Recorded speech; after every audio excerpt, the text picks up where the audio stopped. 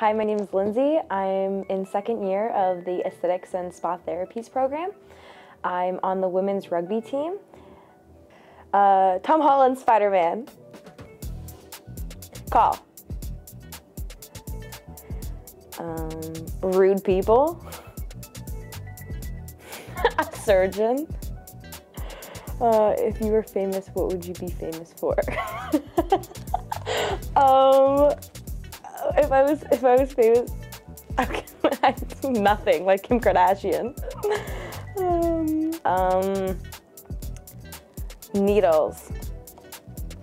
Two seconds, I guess. Can I do it? no, I uh, what did your worst haircut look like? Um, short. Morning person or night owl? Both. Um, the Titanic, which was actually quite sad. If you could live anywhere in the world, where would it be? South Africa. Where were you? South Africa. what is your favorite sport to watch? Rugby. Do you have any pets? Yes, a French Bulldog. Uh, Matt Fraser. Uh, the All Blacks. Cardio or weights? Neither. Um, favorite favorite place? All of them. Favorite class you've taken at Seneca? Uh, nutrition. Um, in my room. Do you have a nickname? Um, Shinzy.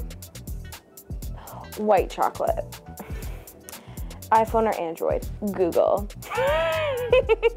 Do you have any tattoos? No, but I want one. Favorite pizza topping? Um, that's a good question. Let's do check in. what color is your toothbrush? I don't have one. Just kidding. Um, blue. Uh, favorite cartoon? Oh my goodness. Uh, Danny Phantom. What is your favorite app? Instagram. What is something that you're not very good at? Rugby. what is your hidden talent? Um, I can spit water through my teeth. Uh, cooking. What is something you want to accomplish this year? Getting gold.